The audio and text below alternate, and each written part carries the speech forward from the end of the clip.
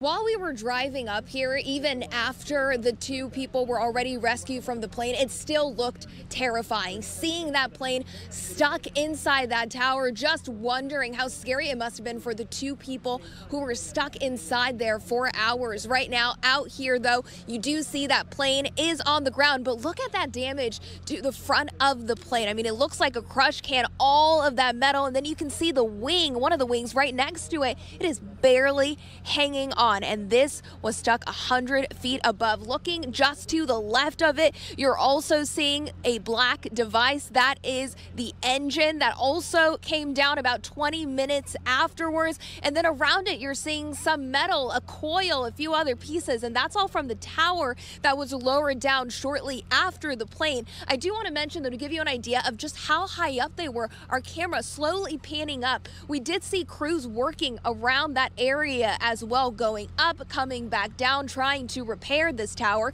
And then if you go to the left of it, you're going to see another tower and also a number of dangling power lines. And so even though the two people have been rescued, the plane is no longer stuck in the tower. The crews are still working very hard out here to repair both that tower as well as the power lines. Now, officials say crews got here about 5.30 yesterday afternoon after reports of a plane crashing into a power line. The plane, which was dangling again 100 feet in the air already made things difficult. Then add on those foggy conditions. Maryland State Police telling us the pilot is 65 year old Patrick Merkle from D.C. The passenger 66 year old Jan Williams from Louisiana.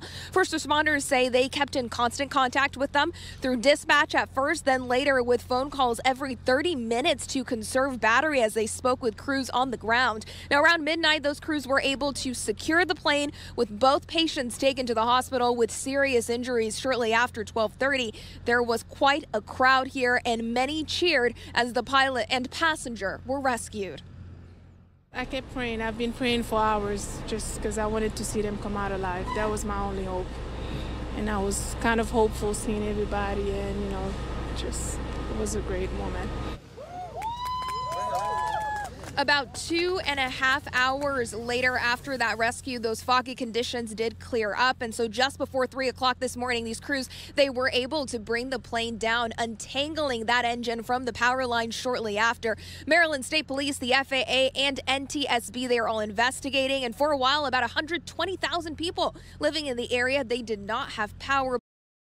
Has really been horror story after horror story. I spoke with a woman who says she's stranded trying to get to her mom's funeral. Over the last 30 minutes or so, we started to really see this line pick up. I'm being told by one of the travelers that this line has to do with a lot of people actually trying to head to Orlando this morning that just found out their flight also got canceled. And so that's why this baggage claim area, this is why you were starting to see bags here. These are bags, according to some travelers telling me, these are bags that were checked about 30 minutes ago, returning two people, including Kwame Best. You were supposed to leave this morning to Orlando. What happened?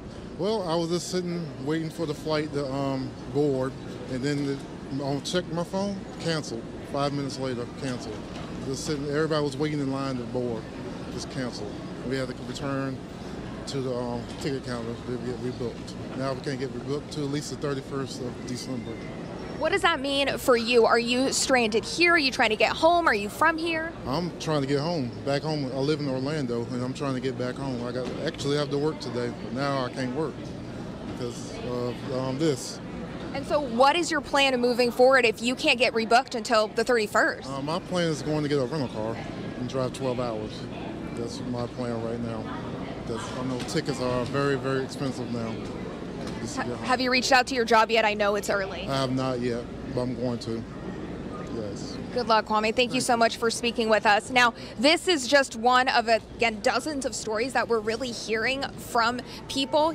Kwame mentioning he wanted to get a rental car. We were hearing from people who said they waited in line for a rental car for more than six hours and then had to drive even longer to get to their final destination.